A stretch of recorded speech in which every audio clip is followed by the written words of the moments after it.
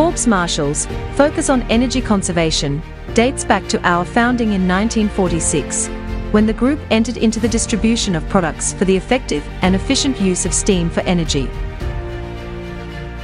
By 1958, our first manufacturing plant was established in Kasarwadi, Pune, India, with a staff strength of 12 members.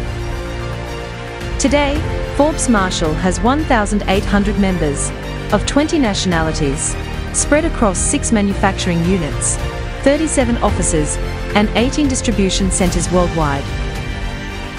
Our range of steam efficiency solutions help bring down the cost of steam throughout the process from generation to distribution and utilization, right up to recovery.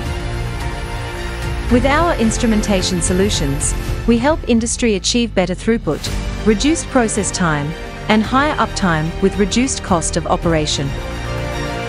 Industrial pollution is a major contributor to air and water pollution worldwide.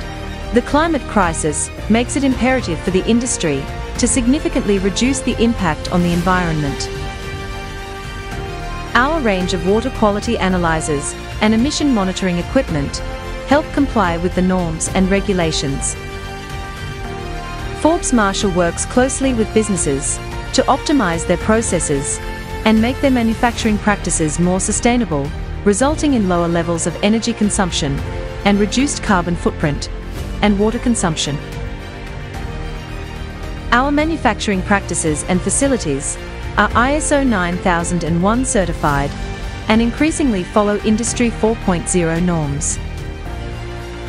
Through our manufacturing facilities, including one in the UK and one in Singapore, we deliver the highest standards of quality through precision in engineering and calibration. Our in-depth customer knowledge fuels our innovation.